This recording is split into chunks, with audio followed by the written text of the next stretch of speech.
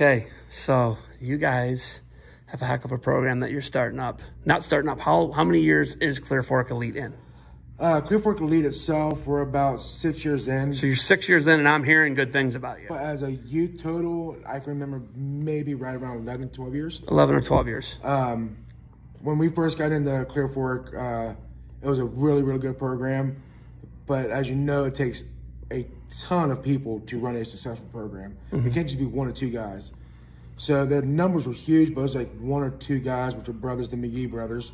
They were running it, and they were just outnumbered ratio-wise by kids to coaches. Yeah. And uh, things kind of got a little out of hand, and uh, myself and I made a little selfish choice, and we went to another program. And it dawned on me, and I'm like, you know what, my kids are going to go to high school here. So I let's I want to go back and I want to help out whatever I can. So about two years of being away, I went back and uh, did the Clear Fork Elite, and we had two different programs. We had a, like a beginner, and then the elite, and then it got to the point where why are we separate? Let's just merge, and let's build one system together, and let's continue to funnel those kids through and get them ready for junior high and high school. Okay, so you guys are in this like area where I'm like I'm from Oak Harbor, Ohio, and there's not much around Oak Harbor, Ohio. Right. There's not much around Clear Fork. It's like it's it's it's like uh, Mansfield. It's uh it, it's Mansfield. It's Lexington. It is Ontario. Ontario. Right. There's there's not like a pri- what's the closest private school?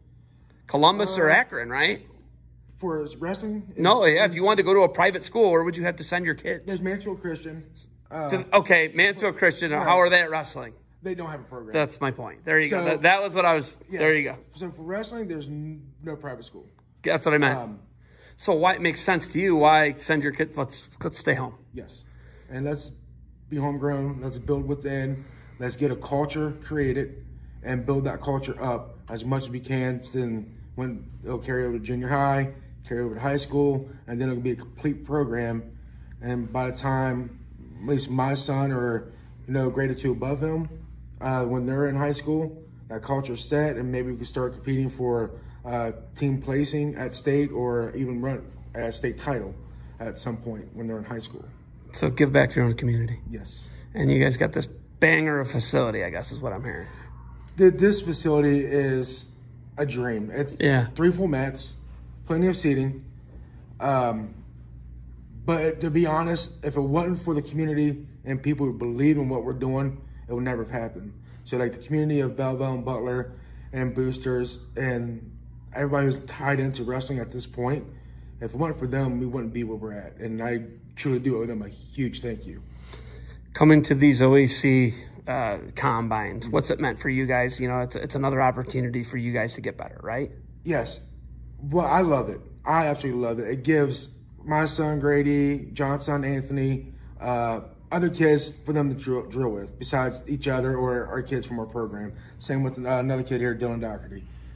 Um, what's really super cool about it, my son today, all day long for about, for all first session, half of the second session, drilled with one person.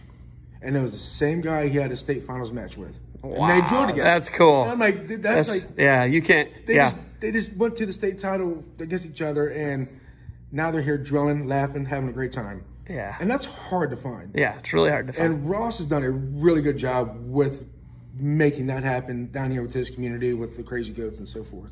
awesome. All right, the clinic's over. Yes. The combine's over. Do you got anything else for me? And I just appreciate everything you guys do. I, I really do. Uh, I know youth wrestling to some people, it's just like, oh, it is what it is. But to understand what these kids go through to grind day in and day out, to give up video games because they want to train and just to become the best because OAC is the best state tournament. And to place anywhere at OAC is a huge honor. And kids really look up to that. And you gave them goals to look towards every year. So I appreciate that.